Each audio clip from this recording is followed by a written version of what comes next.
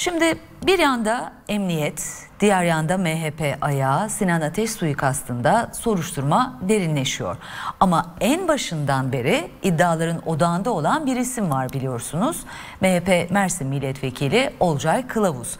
Daha önce Sinan Ateş'le husumeti olduğu öne sürülen Kılavuz'un bu kez de suikast şüphelilerinden birini sakladığı öne sürüldü. Hatta Kılavuz'un itirazlarına rağmen gözaltına alınan şüphelinin daha sonra yine baskıyla serbest bırakıldığı belirtiliyor. İddia T24'ten gazeteci Tolga Şardan'a ait. Sayın Başkan, değerli milletvekilleri, hepinizi saygıyla selamlıyorum. MHP Mersin Milletvekili Olcay Kılavuz ismi en başından beri iddiaların ortasında. Ya Mersin Belediyesi'nde adını atıfta bulunuluyor ya da Sinan Ateş suikastını organize eden şüpheliyi sakladığı öne sürülüyordu. T24'ten Tolga Şardan, MHP'li Kılavuz'un soruşturmanın odağında olduğunu yazdı. 30 Aralık'ta öldürüldü Sinan Ateş. Gazeteci Tolga Şardan'ın yazısına göre soruşturmadaki şüphelilerden biri Tolgahan Demirbaş'tı. Kendisi Ülke Ocakları Genel Merkezi eski yöneticilerinden. Suikastın organizasyonunda yer aldığı değerlendiriliyor. Cep telefonunun baz verileri takip edildi. Polisler belirlenen adrese gitti. Soruşturmayı yürüten Ankara Emniyeti Asayiş Şubesi'ydi. İddiaya göre şubede bir müdür yardımcısının başında bulunduğu ekip Demirbaş'ın bulunduğu adrese gittiğinde MHP Mersin Milletvekili Olcay Kılavuz'un da evde olduğunu öğrendi. Polis ekibi durumu amirlerine bildirdi. Kendilerine Demirbaş'ın gözaltına alınması talimatı yeniden verildi. İddiaya göre polise kapıyı MHP'li kılavuz açtı. O sırada kılavuzun polis korumalarının asayiş şubeden gelen ekibe müdahale etmek istediği ancak asayiş şube ekibinin müdahaleye izin vermediği belirtildi. Ardından görevli emniyet müdür MHP'li kılavuzun tepkisiyle karşılaştı.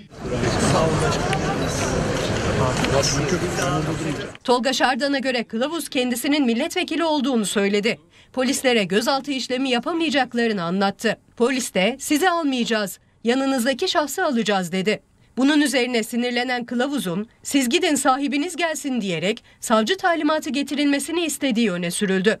Çok şükür devletimiz bütün imkanlarını seferber ederek Savcılık talimatı geldi. Demirbaş sonunda gözaltına alındı. Ankara Emniyetinde işlemler sürerken bir anda ortalık karıştı. Çünkü 8 saat sonra iddiaya göre siyasi baskıların ardından Tolgahan Demirbaş serbest bırakıldı. Gözaltına alındığı sırada Ankara Emniyet Müdürü Servet Yılmaz'ın bundan haberi olmadığı öne sürüldü. Bu terör yandaşı iyi bilmelidir ki şan ve şeref dolu Türk tarihinde tek bir kara leke bile yoktur.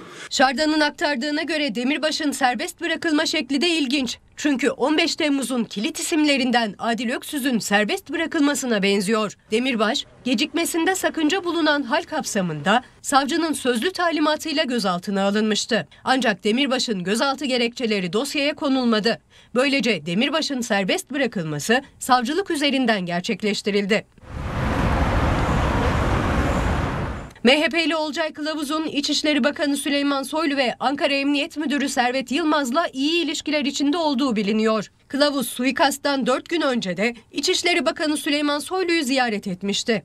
Şardan'a göre polis ekipleri savcının talimat vermesi halinde kılavuzu da gözaltına alabilirdi. Ancak kılavuzun ilişkilerinin operasyonu yapan polislerin geri adım atmasına yol açtığı öne sürülüyor. Kılavuz hakkında bir işlem var mı şimdilik bilinmiyor.